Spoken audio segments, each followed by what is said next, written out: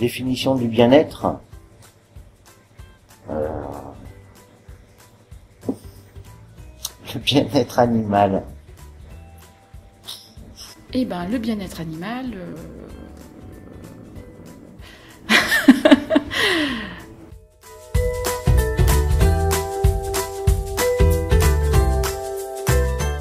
Ben, euh, le bien-être animal, je pense que c'est important euh, parce que euh, les, bah, les animaux, c'est bah, c'est- des êtres vivants, donc faut, il faut les respecter, il faut, faut pas les, les dénigrer ou quoi.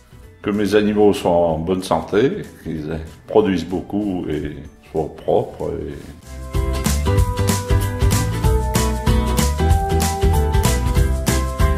Alors pour le définir, c'est euh, de laisser libre accès aux animaux à ce qui leur permettrait de vivre mieux leur vie d'animal. Je m'entends euh, euh, dans le sens où un accès à l'alimentation, à l'eau, euh, euh, qui est effectivement pas de maltraitance animale, mais bon ça pour le coup, euh, je pense que ça fait partie du premier critère. Euh, et puis qui puisse s'établir euh, sur le plan enfin, social avec des congénères aussi euh, pour les espèces sociales. Le bien-être animal, pour moi, c'est euh, un animal qui est euh, bien traité, qui, grandit euh, dans de bonnes conditions, euh, qui est bien nourri, qui a des bons soins et qui est aussi tué dans de bonnes conditions. Alors en effet, le bien-être animal dépend de plusieurs composantes. Ainsi, selon la définition donnée par l'ANSES en 2018, le bien-être d'un animal est l'état mental et physique de cet animal et il est lié à la perception et à la satisfaction de ses besoins physiologiques et comportementaux. Et ce bien-être, il varie en fonction de la perception de l'animal. Ainsi donc, une bonne santé, une bonne production, une absence de stress ne suffisent pas au bien-être de l'animal. Il est absolument primordial de prendre en compte la perception de la situation par l'animal et la présence d'émotions positives ou négatives. Alors à côté de cette définition théorique du bien-être animal, on utilise fréquemment le principe des cinq libertés. Ce principe des cinq libertés n'est pas vraiment une définition, mais il donne les conditions qui sont requises pour le bien-être animal. Et ainsi, ces cinq libertés sont tout d'abord l'absence de faim et de soif, puis l'absence d'inconfort, l'absence de douleur, blessure ou maladie, la liberté d'exprimer le comportement propre à l'espèce, et enfin l'absence de peur et d'anxiété. Et donc avec ce principe des cinq libertés, on voit bien que le bien-être animal est multidimensionnel ou multicritère, et qu'il est primordial de prendre en compte à la fois l'état mental et l'état physique de l'animal.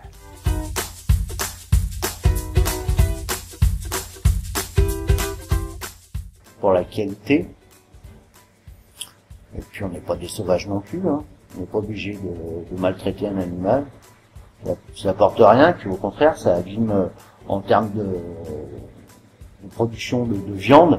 Un animal qui sera pas bien traité euh, sera moins bien, de moins bonne qualité qu'un animal qui a été euh, bien nourri. Si vous ne vous respectez pas, vous n'avez pas de gain ni de production. Bah, parce que ça doit sûrement se ressentir au niveau de la, de la qualité de la viande, et puis euh, parce qu'il y en a beaucoup, quoi, donc c'est important qu'il y ait beaucoup d'animaux bien traités.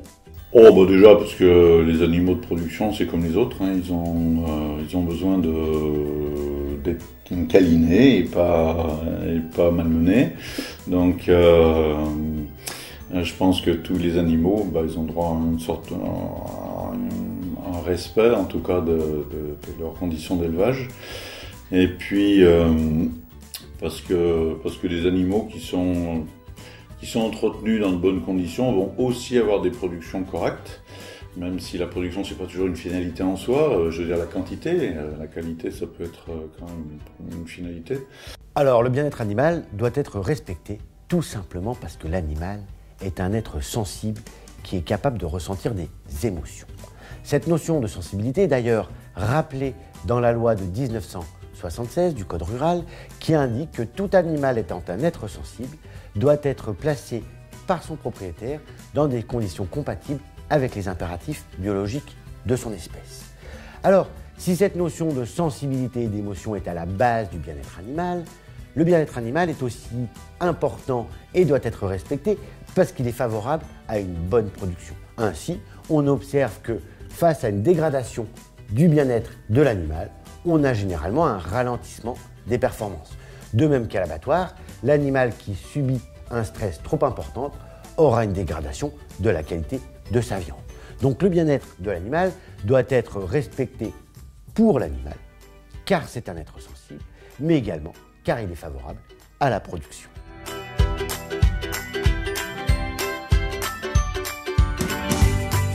Pas trop, non, non, franchement, je ne sais pas. Je sais pas trop. euh...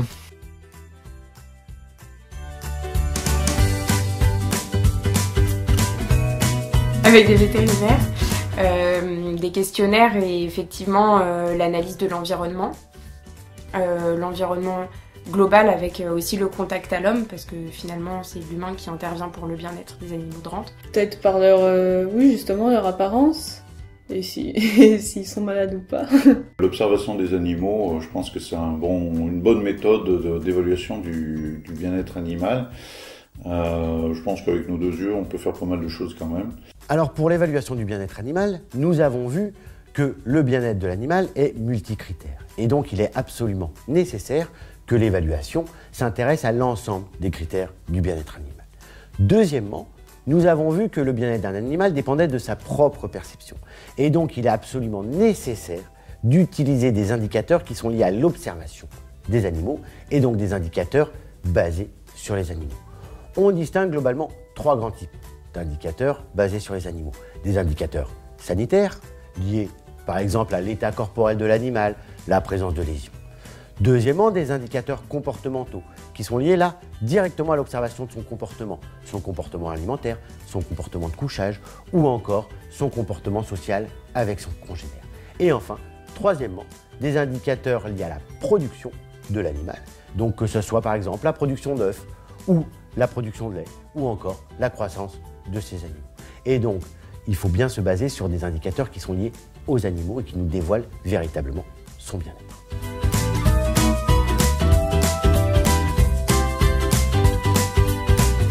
Je pense que à la base, c'est celui qui s'en occupe, mais il n'a pas la maîtrise de tout non plus. hein. Euh, bah déjà, dans, pour les animaux de rente, c'est l'éleveur, qui est quand même le premier intermédiaire euh, de l'animal, enfin, récurrent en tout cas. Euh, après, effectivement, les vétérinaires, puisque ça peut être euh, de l'ordre du conseil, euh, euh, de la mise en garde et puis du soin, parce que quand on soigne, on, est censé quand même apporter du bien-être. Euh, et puis les intermédiaires euh, qui sont plus peut-être les industriels, comme ceux qui vendent la nourriture, qui gravitent autour, donc les inséminateurs par exemple. Les personnes qui s'occupent du transport des animaux, puisque euh, pour limiter le stress. Alors effectivement, euh, l'éleveur est le premier artisan du bien-être animal puisqu'il est en contact tous les jours de ces animaux. Mais il y a un certain nombre d'acteurs qui doivent interagir ensemble pour améliorer le bien-être animal. C'est donc l'éleveur, mais aussi les vétérinaires, l'ensemble des professionnels de l'élevage, les ingénieurs, les techniciens. Mais il ne faut pas oublier les pouvoirs publics avec notamment les services vétérinaires, les industriels qui vont commercialiser les produits et enfin les associations de protection animale. Et donc tous ces gens-là doivent travailler main dans la main dans le but d'améliorer le bien-être de nos animaux d'élevage.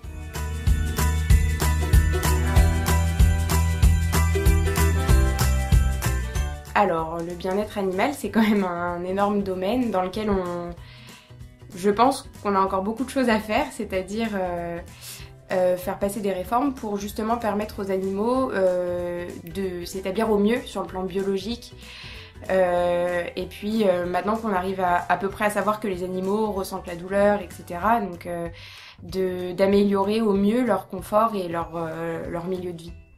Ce qu'il faut retenir, c'est donc que le bien-être animal est un large domaine et qu'il faut encore l'améliorer.